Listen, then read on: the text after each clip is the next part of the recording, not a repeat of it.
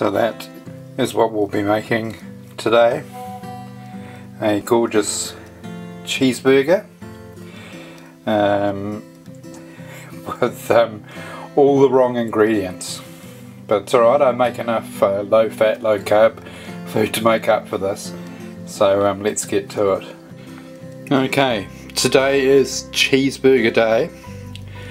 Um, so no low fat, no low carbs, no low sugars, um, just completely unadulterated cheeseburger.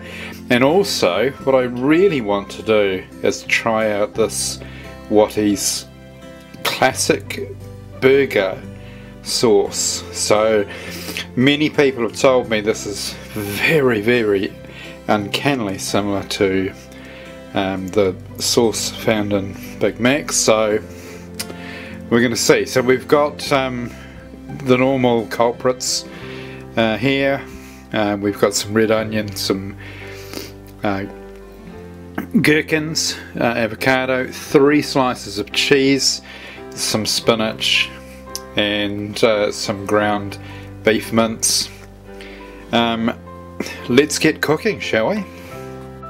So firstly I'm going to cut my hamburger bun into three bits. So this middle bit here, as you can see, um, is going to allow me to put two uh, meat patties in there. And now we're going to form the patties and um, put them in the pan while the hamburger buns go into the oven. Right, so now we're going to make our meat patties and basically just get your mince and flatten it out as much as you can. And remember it is going to shrink. So it doesn't matter if it looks a bit big at the moment. So there'll be two patties in this so if I made just one burger one layer high I'd probably want to eat two of them. So I think I might as well, as well make one that's two layers high and just eat one of them. Rightio. Um, when we flip those over we'll put the cheese on. So I flip those over and now we're just going to pop those in there. So we're actually going to end up with four slices of cheese in these. Rightio. Um, I think um, when you come back it'll be assembly time. Okay, now it's um, assembly time. So we'll just turn that off. Um, got a nice big dollop of sauce on that.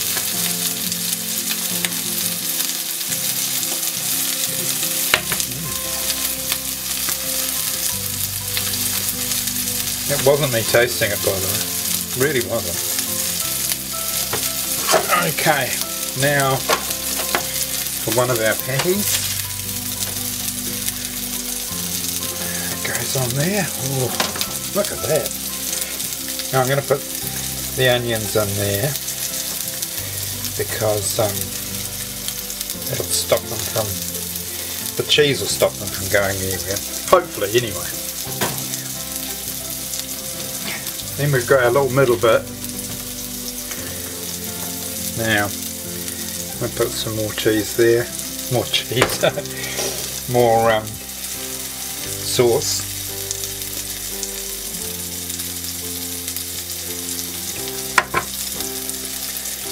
Gonna lay some avocado there.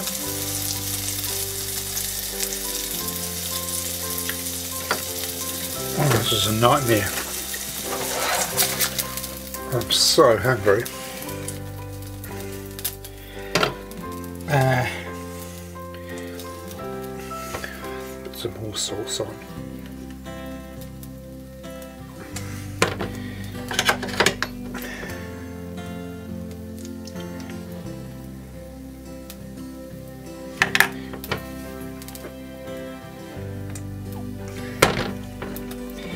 And then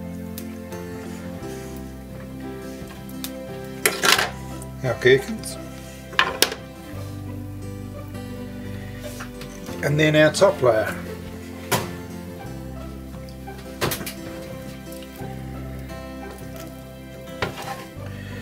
Right.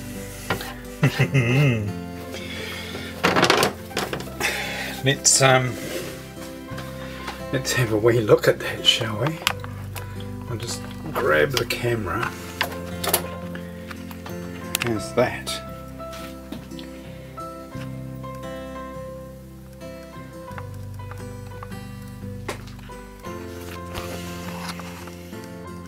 Well I've got to tell you that that sauce is not far off the uh, Big Mac sauce at all.